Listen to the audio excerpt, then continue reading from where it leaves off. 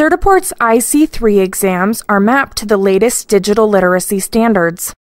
Certiport's latest IC3 version is delivered through Certiport's online exam delivery. Past versions of this exam may be delivered through a different exam delivery method. Please contact your sales consultant for more information about the versions available for the IC3 certification. To launch an IC3 exam, the test candidate double clicks the Certiport Online Exams icon from the desktop. The test candidate will log in using their Certiport username and password. If they have not previously registered as a Certiport test candidate, they can do so by clicking the register link on this screen. After entering their username and password, the candidate selects the program and clicks Login.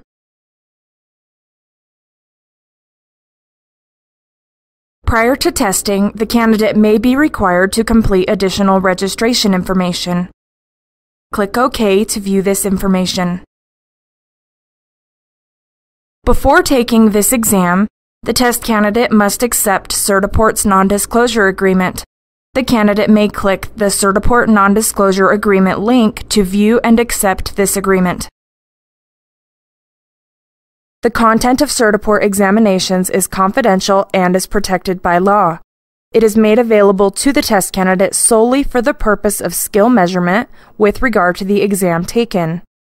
In this agreement, the test candidate promises to treat all information confidentially and not disclose any test information without proper authorization by clicking Yes, I accept. Next, the candidate selects the exam to be taken.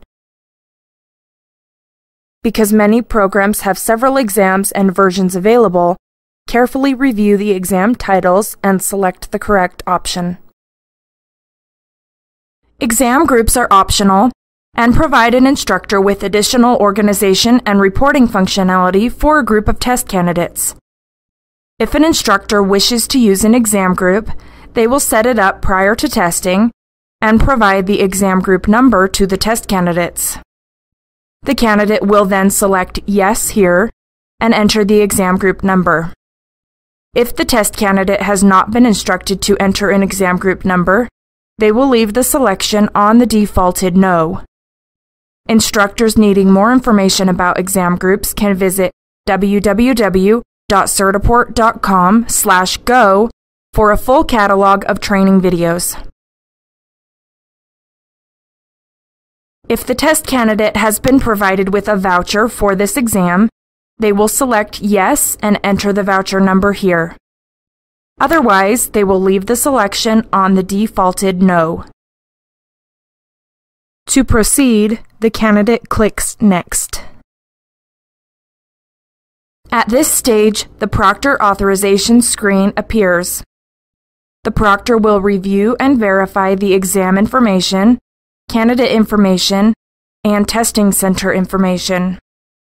After verifying that these details are correct, they will click this checkbox stating that they have verified the candidate's identification. The proctor will then enter their username and password and click Start Exam.